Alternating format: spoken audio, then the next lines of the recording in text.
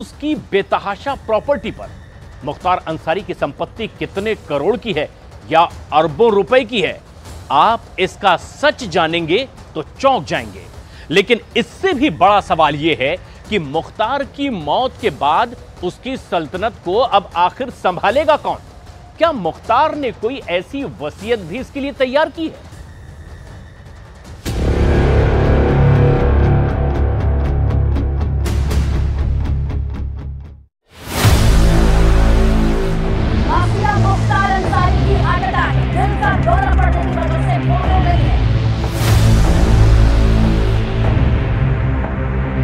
संदेह के घेरे में तो है ही स्वाभाविक मौत नहीं संयोजित हत्या। मुख्तार अंसारी की मौत को सीधे सीधे हत्या बताया है जिसकी जाँच की मांग अब मुख्तार अंसारी के बेटे के ज़रिए की जा रही है। मुख्तार अंसारी के शव की पोस्टमार्टम रिपोर्ट में मुख्तार की मौत हृदय गति रुकने से ही हुई है। मुख्तार को दफन कर दिया गया। बड़े मजमे बड़े जमघट, बड़े जुलूस के साथ निकला मुख्तार का जनाजा। मुख्तार का अंत हो गया। लेकिन क्या उसकी सल्तनत का भी अंत हो चुका है? अलग अलग जरियों से मिली रिपोर्ट के मुताबिक मुख्तार अंसारी के खानदान के पास करीब पंद्रह हज़ार करोड़ की बेनामी संपत्ति है। अगर ये सच है तो मुख्तार की इस पंद्रह हज़ार करोड़ की सल्तनत का आगे क्या होगा? कौन इसका मालिक होगा? कौन इतनी बड़ी जायदाद को संभालेगा? मुख्तार का बड़ा बेटा अब्बास अंसारी जेल में है। मुख्तार का छोटा बेटा उमर अंसारी आचार संहिता के उल्लंघन के मामले में जमानत पर है। मुख्तार की पत्नी अफशा पर 11 केस हैं। वो फरार है। इनके अलावा मुख्तार अंसारी के भाई सिबक तुल्ला अंसारी हैं और अफजाल अंसारी हैं। सिबकतुल्ला पूर्व विधायक हैं, जबकि अफजाल अभी गाजीपुर से सांसद हैं। इन तीनों सीटों में पूर्वांचल के माफिया मुख्तार अंसारी की पूरी कहानी सिमटी हुई है। ये वही मुख्तार अंसारी था जो 400 गाड़ियों के काफिले पर चलता था। लेकिन जब अंत हुआ तो गाजीपुर में चार कंधों पर कब्रिस्तान पहुँचा। मुख्तार का खौफ, रुतबा और दबंगई उसके साथ कब्र में दफन हो गई लगातार 26 साल तक पूर्वांचल में गदर मचाने वाले मुख्तार अंसारी पर वैसे तो इकसठ से ज़्यादा आपराधिक मामले थे, और इसी वजह से वो साल 2005 से मरते दम तक जेल में कैद रहा। ये वही मुख्तार अंसारी था जिसकी मूछों का ताव देखकर शासन और प्रशासन में मौजूद अधिकारियों के पसीने छूट जाते थे। आज उसकी मैयत पर जब बेटा उमर अंसारी पहुँचा तो उसकी मूछों को वैसे ही ताव देने लगा। देखिए, इस परिवार से हमारे बहुत अच्छे रिश्ते थे। और ये परिवार शायद आज़ादी के लड़ाई में भी इस परिवार का बहुत बड़ा योगदान था। तो देखिए, इनकी मौत संदेह के घेरे में है। तो देखिए न्यायालय को इसमें स्वयं रुचि लेना चाहिए। अगर जेल में किसी की मृत्यु होती है तो उसकी ज़िम्मेदारी प्रशासनिक अधिकारी जेल से लेकर के सरकार से लेकर सबकी ज़िम्मेदारी है। वो कोई दयालु सज्जन नहीं थे। वो एक डॉन माफिया का टैग था। ऐसी बहुत सारी घटनाएँ जो कईयों की हत्या से लेकर उग्राही तक से लेकर बहुत गंभीर मामलों में उनको जेल हुई थी। और जेल में उनकी मृत्यु हुई है, हार्ट अटैक से मेडिकल रिपोर्ट कहती है। किसी ने न्यायिक जाँच मांगी तो उसमें न्यायिक जाँच मिलने में भी कोई गुनाह नहीं है। वो भी हो जाए, लेकिन सच्चाई ये है, एक डॉन और माफिया युग का अंत हुआ। है मुख्तार अंसारी और उसके रिश्तेदारों की पंद्रह हज़ार करोड़ की प्रॉपर्टी अलग अलग रिपोर्ट से बताई जाती है, लेकिन कागज़ पर मुख्तार अंसारी के पास क्या था, वो देखिए। 2014 में लोकसभा चुनाव के वक्त दायर हलफनामे में मुख्तार अंसारी ने 18 करोड़ की संपत्ति बताई थी। 2017 के विधानसभा चुनाव के दौरान हलफनामे में बताया कि उसके परिवार के पास बहत्तर लाख का सोना है 20 करोड़ की प्रॉपर्टी है और बैंक में कुल 22 करोड़ रूपए है। आज की तारीख में मुख्तार अंसारी के नाम सिर्फ़ एक बैंक अकाउंट है। उसमें एक दशमलव दो पाँच लाख रुपए की रकम जमा है। हालाँकि इसके पत्नी और बच्चों के नाम पर छह बैंक खाते हैं और उनमें दस लाख रुपए से ज़्यादा की रकम है। लेकिन दूसरा सच ये है कि मुख्तार अंसारी और उसके गैंग के सदस्यों पर अब तक 155 एफआईआर दर्ज हुई। 600 करोड़ की संपत्ति जब्त हुई, जबकि 2100 करोड़ से ज़्यादा का अवैध कारोबार बंद किया जा चुका है। किसी ने कहा है कि कफन में जेब नहीं होती। इंसान अकेला आता है और अकेला ही वापस जाता है। मुख्तार भी ये जानता था हालाँकि उसकी प्रॉपर्टी बहुत से जिलों में फैली हुई है। कई बेनामी संपत्ति हैं, कई रिश्तेदारों और दूसरे लोगों के नाम पर बनाई गई हैं। किसी पर कब्जा हुआ किसी को ज़बरदस्ती औने पौने दामों में खरीद लिया गया। उत्तर प्रदेश में मुख्तार की 650 करोड़ की संपत्ति जब्त हो चुकी है या फिर ध्वस्त कर दी गई है। साल 2020 में गाजीपुर में मुख्तार का गज़ल होटल ढहा दिया गया। यह गाजीपुर में मुख्तार के ऑफ़िस की तरह था। इसके बाद मऊ के गाजीपुर तिराहे पर मुख्तार की आलिशान बिल्डिंग भी गिरा दी गई। अब वहाँ खंडहर बचा है। 2021 में मऊ में भीटी चौराहे पर मुख्तार के खास माने जाने वाले उमेश सिंह की तीन मंजिला बिल्डिंग पर भी बुलडोजर चला। 2022 में मऊ सदर से जीते मुख्तार के बेटे अब्बास अंसारी का घर भी ढहा दिया गया। चार साल के अंदर मुख्तार की 650 करोड़ की प्रॉपर्टी पर सरकार कार्रवाई कर चुकी है। इसमें दो सौ इक्यानवे करोड़ की संपत्ति जब्त की गई, जबकि दो सौ पचासी करोड़ की प्रॉपर्टी पर बुलडोजर चला। बाकी प्रॉपर्टी पर अलग अलग लेवल पर कार्रवाई चल रही है। सिर्फ़ मऊ में ही मुख्तार की 200 करोड़ की संपत्ति पर बुलडोजर चला है। पुलिस और ईडी अब भी गाजीपुर, मऊ, वाराणसी, लखनऊ के अलावा पूर्वांचल के कई जिलों में मुख्तार की प्रॉपर्टी तलाश कर रही है। अभी दो दिन पहले गाजीपुर के लोकसभा के member of parliament Afzal Ansari साहब को मुख्तार अंसारी ने बताया था कि उनकी किसी भी वक्त हत्या हो सकती है, क्योंकि उनको कुछ अहम मामलों में पेशी होना है, जिसमें कुछ लोग मुलजिम साबित होने हैं। हम मांग करेंगे कि इस पूरे प्रकरण की एक निष्पक्ष तरीके से जाँच कराया जाना चाहिए कि आखिर उनकी सेहत के मामले में उनकी जो ये मौत हुई है, उसका सच क्या है। बाबा की आशीर्वाद है। जय आज मैं हमेशा बाबा के दरबार में न्याय के लिए करती थी। आज न्याय मिला है हमको।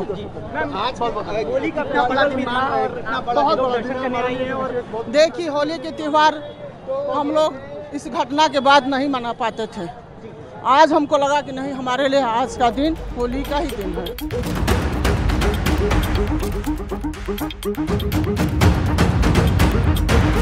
1990 के दशक में मुख्तार अंसारी जब राजनीति में आया तो उसके पास Maruti Gypsy, Tata Safari, Ford Endeavour Pajero Sport और बीएमडब्ल्यू जैसी गाड़ियों का शानदार कलेक्शन था। उसके पास एक बुलेट मोटरसाइकिल, एक एम्बेसडर कार और एक जीप भी थी। उसकी ज़्यादातर गाड़ियों का नंबर सात सौ छियासी हुआ करता था। ऐसे में सवाल है कि बैंक खातों में कुछ लाख रुपयों का होना क्या बताता है? क्योंकि आज भी मुख्तार का परिवार महँगी महँगी गाड़ियों से चलता है। इनकी कीमत करोड़ों में है। उत्तर प्रदेश में लगातार कस्टडी डेट बढ़ती चली जा रही है ये चिंता की बात है। सजा देना न्याय करना ये न्यायपालिका का काम होता है। मुख्तार अंसारी की फैमिली लगातार कह रही थी कि जहर दिया जा रहा है जहर दिया गया है उन्हें शंका हो रही थी। तो इस पर उसी समय कार्रवाई करनी चाहिए थी। आखिर उस पर कार्रवाई क्यों नहीं हुई? ये एक, एक सवाल उठता है। दूसरा सवाल उठता है कि कोई भी अगर न्यायिक हिरासत में है तो उसको सुरक्षित रखने की ज़िम्मेदारी भी सरकार की होती है, क्योंकि सजा तो और न्याय तो न्यायपालिका देगा। उसकी स्थिति बहुत अच्छी नहीं रही है। ऐसी स्थिति में इस प्रकार का आरोप लगाना कि उसे जहर दे दिया गया है या उसे मार दिया गया है, मैं समझता हूँ कि ये सर्वथा निर्मूल है और इसे खंडन किया जाना चाहिए। मुख्तार अंसारी एक क्रिमिनल था, एक डॉन था, एक माफिया था और उसकी मौत पर कोई बहुत ज़्यादा विचार नहीं करने की आवश्यकता है। उसकी एक नेचुरल मौत हुई होगी। मुख्तार अंसारी की मौत हार्ट अटैक से हुई। ये पोस्टमार्टम रिपोर्ट में बताया गया है। जब जनाजा काली बारा कब्रिस्तान पहुँचा तो वहाँ भारी सुरक्षा लगाई गई थी। धारा 144 भी लगी थी और इस दौरान मुख्तार अंसारी के भाई अफजाल अंसारी और प्रशासनिक अधिकारियों के बीच बहस शुरू हो गई। फातिहा हो चुका है। क्योंकि भीड़ भाड़ बहुत ज़्यादा थी ओवर क्राउड हो जाने की वजह से कुछ मुश्किलें आई लेकिन धीरे धीरे सब कुछ खैरियत से हो गया। जो समर्थक आए थे उनको क्या अपील करेंगे? जो कुछ नहीं वो सब मट्टी आज दे लें कल दे लें जब चाहे आके फातिया पढ़ लें मजार पे मट्टी डालने और फातिया पढ़ने से कौन सी रोक है? लेकिन एक बार एक साथ जाके हुल्लड़बाजी ये मुनासिब नहीं है। समर्थकों से क्या अपील करेंगे? जो उनके जो आए थे काफ़ी बड़ी संख्या में उनसे क्या अपील करते हैं? किस तरह की अपील करते हैं? शांति व्यवस्था बनाकर रखें और जिन लोगों ने हुड़दंग करने का प्रयास किया है सभी की वीडियोग्राफी हुई है ऐसे लोगों को चिन्हित किया जाएगा जिनके द्वारा आचार संहिता का उल्लंघन करके किसी तरह की नारेबाजी की गई है उनके विरुद्ध कार्रवाई की जाएगी बाकी सब शांतिपूर्ण हो गया। पाँच बार विधायक बना। पैंसठ से ज़्यादा आपराधिक मामले दर्ज हुए। जेल के अंदर रहते हुए भी जमकर पैसा कमाया और रुतबा बढ़ाया। और फिर एक केस ने उसकी ज़मीन कमज़ोर करनी शुरू कर दी। मुख्तार का ग्राफ तब गिरने लगा जब 2005 में बीजेपी विधायक कृष्णानंद राय की हत्या हुई। मुख्तार अंसारी पर हत्या का आरोप लगा। उस वक्त भी वो जेल में बंद था, लेकिन मुख्तार को इस हत्याकांड का मास्टरमाइंड माना गया और तब से ये केस जारी है। माफिया सरगना मुख्तार अंसारी का जेल में मृत्यु हो चुकी है। जैसा कि वहाँ के डॉक्टरों के पैनलों ने बताया कि मृत्यु हार्ट अटैक से हुई है। पर मेरा व्यक्तिगत तौर से ये मानना है कि आज बाबा गोरखनाथ के दरबार में भले ही देर है और अंधेर नहीं है और इसको मैं ये भी एक तरीके से देख सकता हूँ कि इस रमज़ान के पावन पर्व पर, इस पावन महीने में ये अल्लाह का मैं न्याय कहूँ या भगवान का न्याय कहूँ, क्योंकि मेरे लिए दोनों एक ही हैं। जिस तरीके से जुडिशियल कस्टडी में, थानों के अंदर, जेलों के अंदर लोग मर रहे हैं या उनको मारा जा रहा है, उसमें उत्तर प्रदेश कहीं ना कहीं नंबर वन श्रेणी में आ रहा है। स्पष्ट रूप से कानून व्यवस्था का मामला है, भ्रष्ट कानून व्यवस्था है। मुख्तार अंसारी ने कुछ समय पहले ही धीमा जहर देने जाने का आरोप लगाया था। उसके बाद भी प्रशासन ने कोई संज्ञान उसका नहीं लिया। इसकी उच्च स्तरीय न्यायिक जाँच होनी चाहिए। कृष्णानंद राय हत्याकांड से पूरा पूर्वांचल दहल उठा था। यही वारदात मुख्तार अंसारी के लिए काल बन गई। अंजाम ये हुआ कि वो कभी भी जेल से बाहर ही नहीं आ सका। कृष्णानंद राय की हत्या सामान्य हत्या नहीं थी। कहा जाता है कि हमलावरों में से एक हनुमान पांडे ने कृष्णानंद राय की चुटिया काट ली थी।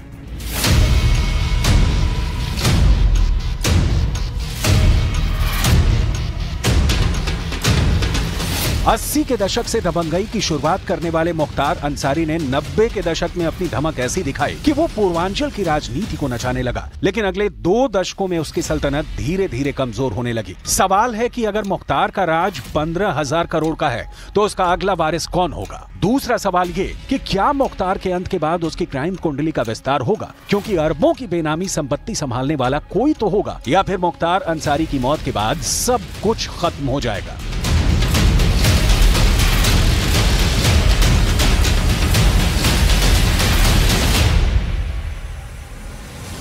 कल दिल्ली में इंडिया गठबंधन की एक बड़ी रैली होने जा रही है और विपक्षी दलों के कई ऐसे बड़े चेहरे एक साथ मंच पर नज़र आ सकते हैं। और दिल्ली के ऐतिहासिक रामलीला मैदान में होने जा रही इस रैली के लिए देश के अलग अलग हिस्सों से दिग्गज दिल्ली में जुटने लगे हैं। विपक्षी दलों के गठबंधन ने महारैली का नारा दिया है। तानाशाही हटाओ, लोकतंत्र बचाओ। हालाँकि विपक्षी एकता में ही फूट पड़ी हुई है। महाराष्ट्र और बिहार में तो गठबंधन में सीट शेयरिंग पर बवाल थमने का नाम नहीं ले रहा और इसीलिए सवाल खड़े हो रहे हैं। कि आखिर कैसे कामयाब हो पाएगी दिल्ली में विपक्ष की ये रैली?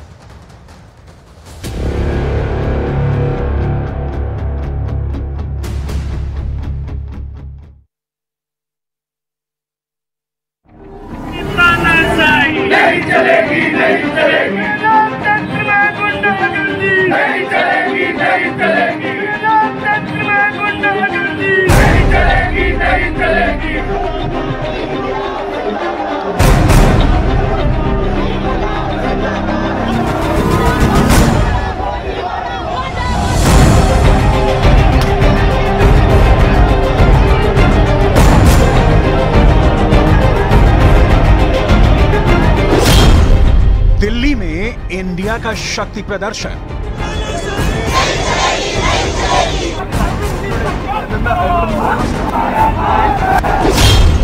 रामलीला मैदान में जुटेंगे दिग्गज लीडर।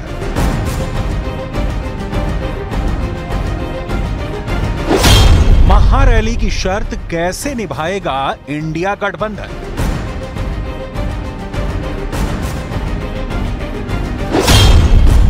केजरीवाल को फिर बचाएगा रामलीला।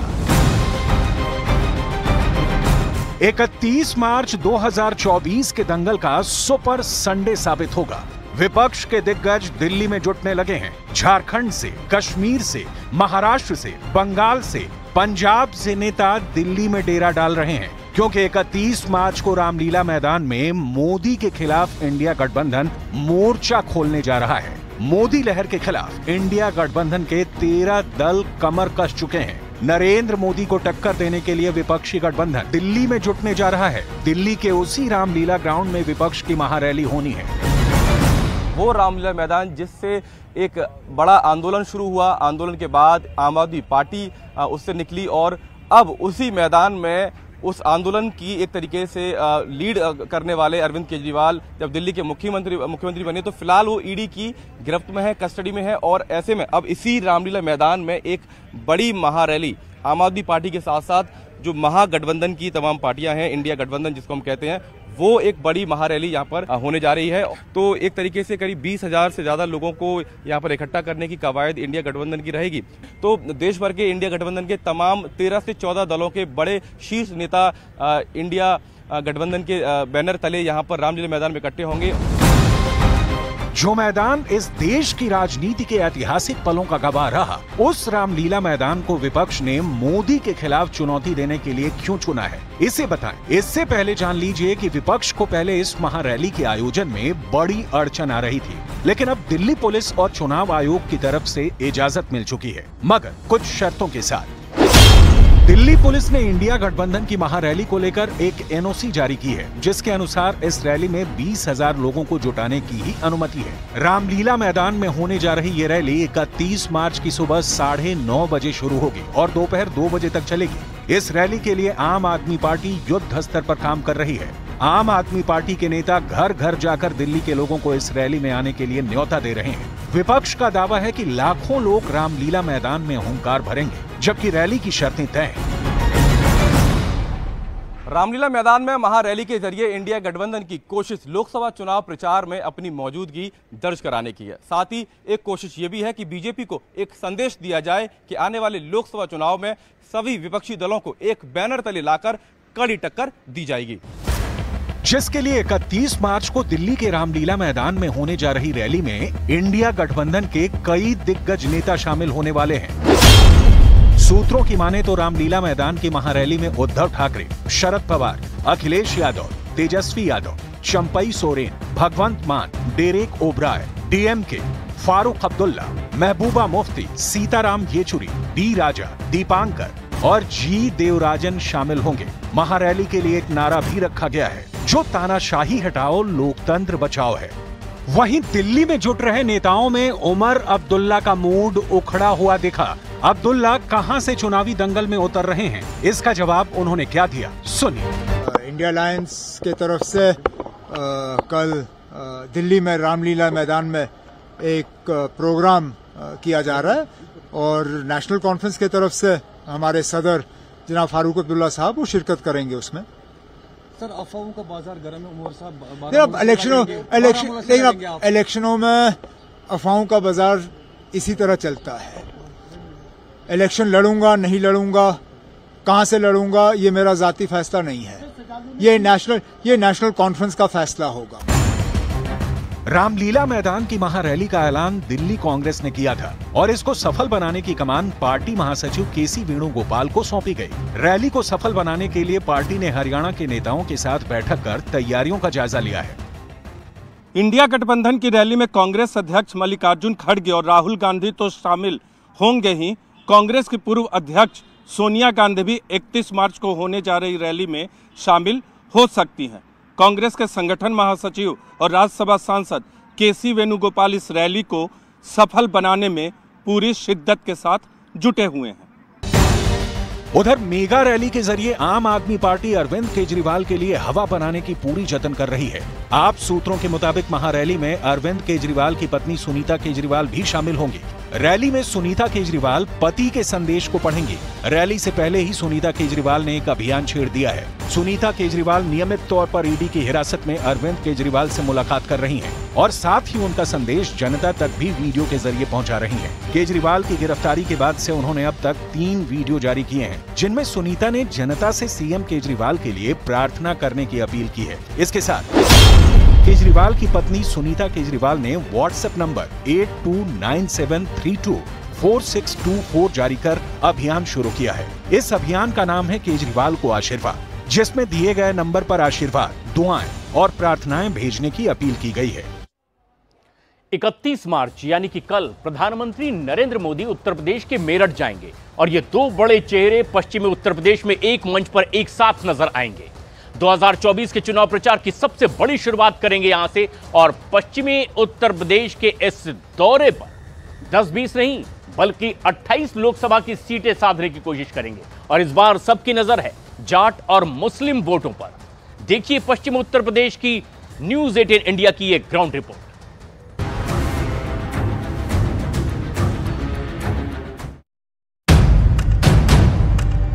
उत्तर प्रदेश ही नहीं, इस चुनाव में देश का सबसे बड़ा बैटल ग्राउंड बनने जा रहा है पश्चिमी उत्तर प्रदेश। दांव पर है यहाँ की 28 सीट और सबकी नज़रें हैं जाट, मुसलमान और साथ में दलित वोटों पर। टक्कर बिल्कुल आमने सामने की है। मुजफ्फरनगर, बागपत से लेकर मथुरा और गाजियाबाद तक मशहूर चेहरे हैं, मुद्दे बड़े हैं।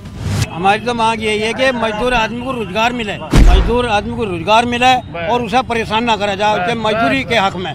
छह सौ रूपए कम से कम झाड़ी होनी चाहिए आठ सौ रूपए मिस्त्री के होने चाहिए। भविष्य में काम मिले रोज़गार मिले रोज़गार से सारी चाहिए वरना कुछ भी नहीं है। पश्चिमी उत्तर प्रदेश में एक तरफ़ नरेंद्र मोदी और जयंत चौधरी है तो दूसरी तरफ़ अखिलेश यादव और राहुल गांधी।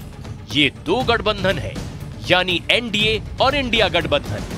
इन दोनों अलायंस के बीच सबसे बड़ा मुकाबला बताया जा रहा है। पहले दो चरणों में ही यहाँ की 28 सीटों में से 16 पर वोटिंग होनी है। जिस गठबंधन की यहाँ शुरुआत धमाकेदार रहेगी, उसकी धार उत्तर प्रदेश की सभी 80 सीटों पर देखने को मिलेगी।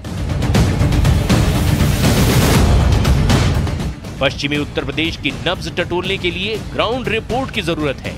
और मेरठ से बेहतर कौन सा शहर हो सकता है, जो पूरे पश्चिमी उत्तर प्रदेश का मूड बता सके? प्रधानमंत्री नरेंद्र मोदी भी 31 मार्च से चुनाव प्रचार का आगाज़ मेरठ से ही करने जा रहे हैं।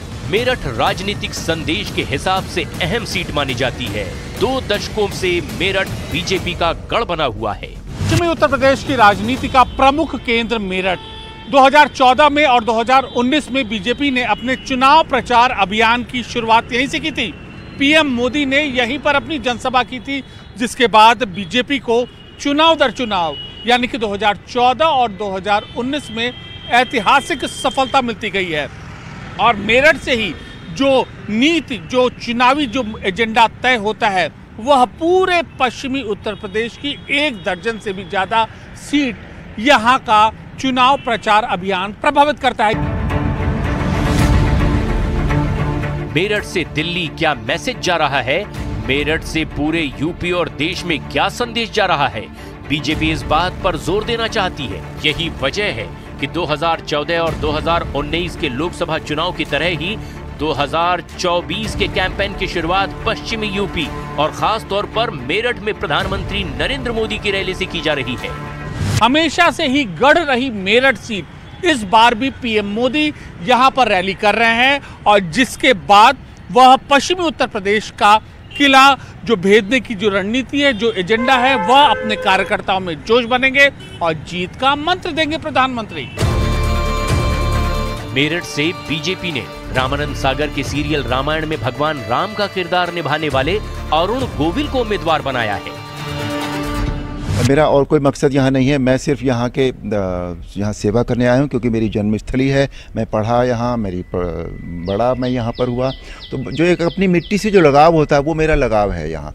तो मैं उस मिट्टी के लिए यहाँ के भाई और बहनों के लिए मैं कुछ कर सका तो मैं अपने आप को बहुत सौभाग्यशाली समझूँगा अरुण गोविल को मेरठ से टिकट मिलने का मतलब है कि मेरठ से जीत की हैट्रिक लगाने वाले राजेंद्र अग्रवाल का टिकट कट गया। ये हमेशा नेतृत्व का अपना एक उनका निर्णय होता है। और मैं इस बात को मैं कहता भी हूँ और इस बात को मैं समझता भी हूँ कि हमारा जो नज़रिया है, हमारी जो दृष्टि है, वो कई बार स्थानीय स्तर की होती है, वो सीमित होती है। हम मेरठ की सोच पाते हैं, लेकिन हमारा जो प्रदेश का नेतृत्व है, केंद्र का नेतृत्व है, उसके सामने पूरा प्रदेश, पूरा देश होता है। अनेक प्रकार के समीकरण होते हैं, अनेक प्रकार की रणनीतियाँ होती हैं तो अनेक प्रकार की अन्य बातें भी होती हैं। तो उसमें से निर्णय होते हैं। देखिए, अगर पोजीशन इतनी ठीक होती भारतीय जनता पार्टी की और इतना अच्छा होता तो कैंडिडेट बदला नहीं जाता और बाहर से कैंडिडेट नहीं लाया जाता। आप खुद अंदाज़ा लगाइए कि भारतीय जनता पार्टी जहाँ इतना ज़ोर शोर से प्रचार कर रही है, इतनी कंफ्यूज क्यों है कि पॉलिटिकल आदमियों की जगह जो है वो सेलिब्रिटीज़ को और धार्मिक करने वालों को धार्मिक प्रचार करने वाले लोगों को उतारा जा रहा। क्यों आखिर इतना- इतना कन्फ्यूज़न किस बात से? आपने काम नहीं करे क्या? आपको अपने काम पे भरोसा नहीं है क्या? एक सच ये भी है कि 2019 के लोकसभा चुनाव में मेरठ लोकसभा क्षेत्र में बहुत तगड़ा मुकाबला हुआ था। राजेंद्र अग्रवाल की जीत का अंतर 5000 वोट से भी कम था। अब उनकी जगह टीवी वाले राम अरुण गोविल को मेरठ का टिकट मिला और बीजेपी ने प्रचार की पिच भी राम मंदिर के इर्द गिर्द मज़बूत कर ली है। पश्चिमी उत्तर प्रदेश के दौरे पर मुख्यमंत्री योगी आदित्यनाथ भी राम का ज़िक्र कर रहे हैं। होली के गाने सुनते थे। होली खेले रघुवीरा अवध में। ये गाना तो हम सुनते बहुत थे। लेकिन अवध में जब जाते थे तो रघुवीर के दर्शन होते ही नहीं थे। रामलला के दर्शन ही नहीं होते थे। नहीं होते थे। पहली बार 500 वर्षों के बाद अवध्या अयोध्या में रामलला ने होली सवाल है कि पश्चिमी उत्तर प्रदेश किन किन मुद्दों पर वोट डालेगा? क्या राम मंदिर ही सबसे बड़ा मुद्दा होगा? रैपिड रेल से मेरठ और दिल्ली की दूरी कम होने जा रही है। अव्वल दर्जे का ट्रांसपोर्ट सिस्टम इस शहर को देश की राजधानी से और करीब ले आएगा। इसमें कोई शक नहीं है, लेकिन मुद्दा कारोबार का भी है। क्योंकि ये शहर कारोबारियों का रहा है। है आगे वो में काम था बढ़िया काम निकले और बढ़िया काम किया जो भी सरकार बना गया। वो काम निकाले हैं टेंडर निकाले ऑर्डर निकाले हमारे लिए भी। लॉकडाउन के बाद से काम बहुत हल्का हुआ है वैसा। लॉकडाउन के बाद से बहुत फ़र्क पड़ा काम पर। अब काम उठ नहीं पाया पहले जैसा काम नहीं है बहुत हल्का हुआ है काम। पश्चिमी यूपी की 16 सीटों पर पहले दो चरणों में वोट होंगे। इनमें मेरठ समेत आठ लोकसभा सीटों की ईवीएम 26 अप्रैल की शाम को लॉक हो जाएगी। अमरोहा, बागपत, बुलंदशहर, गाजियाबाद, मथुरा और अलीगढ़ बहुत से समीकरण हैं, जो इस चुनाव को दिलचस्प बना रहे हैं। और आइए अब सीटों का ये गणित यहाँ पर समझते हैं। पश्चिमी उत्तर प्रदेश में लोकसभा लोकसभा की 28 सीटें यहाँ पर आती है। ये आंकड़े मेरे पीछे जो हैं, गौर से देख लीजिए। इस इलाके में जाट और मुस्लिम के साथ दलित वोट निर्णायक माना जाता है। साथ ही पश्चिमी यूपी का ज़िक्र यहाँ पर किया जा रहा है। 26 परसेंट मुसलमान यहाँ पर वोटर्स हैं। साथ ही जाट 20 प्रतिशत है और दलित वोटर्स का ज़िक्र करें तो ये 25 परसेंट से ज़्यादा है। 2019 का भी ज़िक्र कर लेना ज़रूरी हो जाता है। ये आंकड़े आपके सामने हैं, जहाँ लोकसभा चुनाव में यहाँ बीजेपी ने 19 सीटें यहाँ पर जीती थी। चार सीटें जो हैं, वो समाजवादी पार्टी के खाते में आई थी, जबकि बीएसपी को देखिए, पाँच सीटें यहाँ पर हासिल हुई। और अब बीजेपी चाहेगी कि वो 2014 वाला प्रदर्शन दोबारा से दोहराए, जब उसने पश्चिमी उत्तर प्रदेश की 28 सीटों में से 28 सीटों में से 24 सीटें सीधे सीधे अपने नाम कर ली थी। पश्चिमी उत्तर प्रदेश में जाटों के मोहल्ले में क्या माहौल है? इसी माहौल को समझने की ज़रूरत है। यह है मेरठ बागपत सीमा का रोहटा गाँव। यहाँ पर आरएलडी और बीजेपी के कार्यकर्ता एक साथ बैठे हैं, जब से पूर्व प्रधानमंत्री चौधरी चरण सिंह को भारत रत्न दिए जाने का ऐलान हुआ। न सिर्फ़ राष्ट्रीय लोकदल बीजेपी के करीब पहुँची, बल्कि ज़मीन पर उनके समर्थक भी बीजेपी के साथ आ चुके हैं। ये जो गठबंधन हुआ है, सर तो क्या लगता है कहीं न कहीं जाटों के हित को साधने के लिए हुआ है या पश्चिमी उत्तर प्रदेश में एक नई ताकत को देने के लिए हुआ है। पश्चिम उत्तर प्रदेश में एक नई ताकत को देने के लिए हुआ। कैसे? इसमें भाई दोनों संगठन मिलकर काम करेंगे बीजेपी का और लोकदल का जो है। और हम लोग सरकार में रहेंगे सरकार में जो है हमारे लोगों के काम होंगे किसानों के काम होंगे। हमारी आवाज़ जो है दिल्ली में बैठ के हमारे जो सांसद बनेंगे वे हमारी आवाज़ उठाओगे। ये इसीलिए गठबंधन बना इसीलिए जो है बड़ा पश्चिमी उत्तर प्रदेश की सड़कें, यहाँ की गलियाँ, यहाँ के मोहल्ले, यहाँ की चौपाल। ग्राउंड रिपोर्ट के दौरान जितनी गहराई में जाओ, बातें और भी ज़्यादा पता चलती है। सबसे ज़्यादा चर्चा बागपत, मेरठ, मुजफ्फरनगर की सीटों की हो रही है। बीजेपी जानती है कि जाटों का वोट कितना अहम है, और अब तो आरएलडी भी साथ है। मुजफ्फरनगर में योगी आदित्यनाथ ने राम मंदिर का ज़िक्र किया तो शामली में राम मंदिर के साथ चौधरी चरण सिंह की भी बात की। अयोध्या में प्रभु रामलला का भव्य मंदिर का निर्माण और आज़ादी के उन सभी बंदों का सम्मान किस रूप में हुआ है? आज़ादी के अमृत महोत्सव वर्ष में हर घर तिरंगा के माध्यम से हमने हम सबने उस आयोजन के साथ जुड़ करके देखा है।